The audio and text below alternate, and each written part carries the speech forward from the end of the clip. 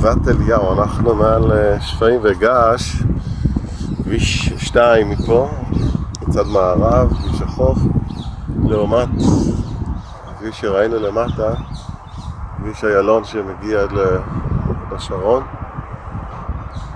סיפור מרתק, פחות מוכר של גבעת אליהו, שמו של יאיר חינסקי. הסיפור כאן.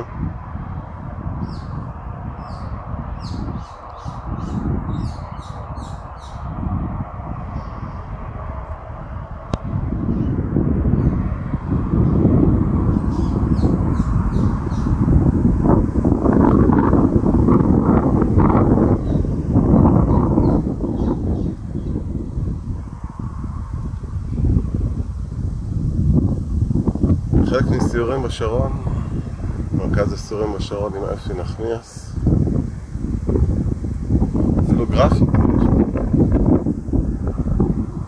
ונתניה באופק, עם גורדי השחקים של פולג, עיר ימין, בקו החוף, מרכז של שפויים, ועוד כהנה וכהנה. полных до энергии.